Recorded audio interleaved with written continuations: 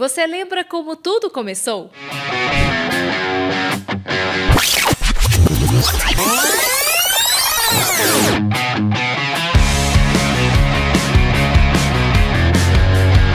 O objetivo era sair do sedentarismo e cruzar a linha de chegada no 11º Circuito de Corridas Pague Menos.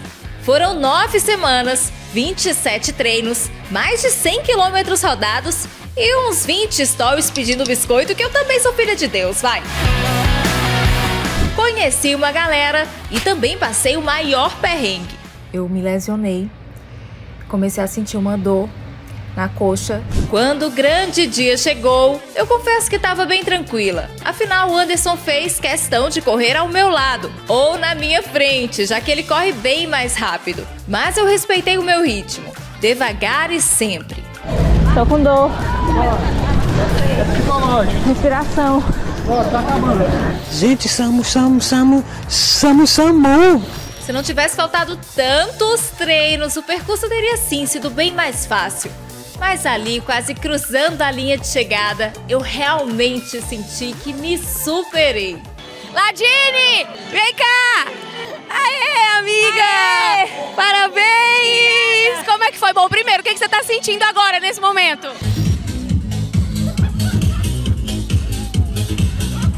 Bru, eu ia fazer dois.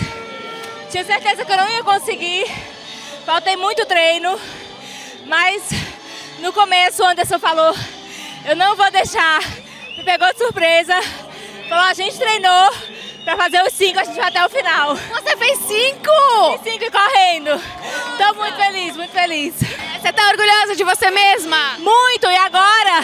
Peguei o gosto, virei corredora. 2023 é nós e no 21. Okay. 21! 21! 21! 21!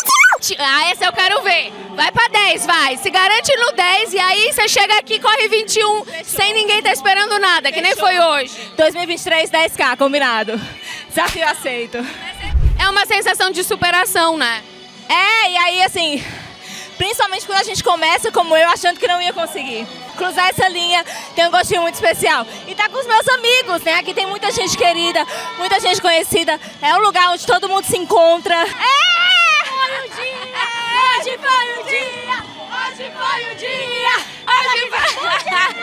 Valeu! Hoje eu tô muito feliz, porque a gente como treinador vê essa realização pessoal, essa superação de limite, não tem preço. Então, tô muito feliz. Show, Ladinho! E assim como eu, tinha uma galera superando os próprios limites. Olha só. Gente já vem treinando aí pra, pra se dedicar esse campeonato aí. A gente conseguiu. Não conseguimos em primeiro, porque estava um pessoal mais na frente aí. Aham, sei. Mas o que importa é a gente concluir o percurso, né?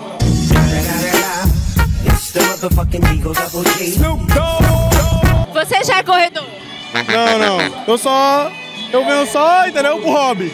Ah, não, você tem um hobby. Fazer nada. É isso? É, amo fazer nada. Sabe, não tem que pensar em nada, tem que falar com ninguém, tem que ficar fazendo nada. É a primeira vez que vocês vêm?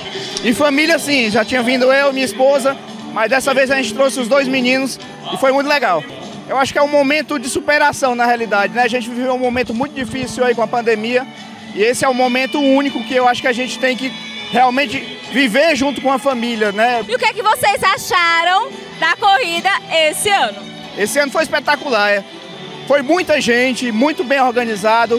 O Pagamento está de parabéns, realmente. A experiência é muito boa. Aqui tá em Fortaleza, aqui onde eu moro, de frente pra praia, né? O trajeto, o percurso já é um show à parte, já faz a gente sentir vontade de vir, né? Exatamente, é, dá uma energia a mais, né? E aí tá se exercitando de manhã cedo, né? Com a turma aí, é muito bom, a diversão é boa. Ano que vem? Ano que vem de novo. 5K? 5K ou 10, quem sabe? Vamos dobrar essa meta, hein? Bora. Partiu 10K? Partiu 10K. Fechou. Gente, essa foi uma das experiências mais legais que eu já tive. E o mais bacana é pensar em tudo que eu passei, tudo que eu fiz pra estar aqui hoje, né? Com apoio de bons profissionais, toda essa trajetória foi maluca, mas que foi uma delícia. E ó, 2023 eu tô aqui de novo, porque desafio bom é desafio cumprido e desafio dobrado. Então 2023 vocês me aguardem fazendo os 10K. É isso, valeu, Paguinha. Beijo, até a próxima.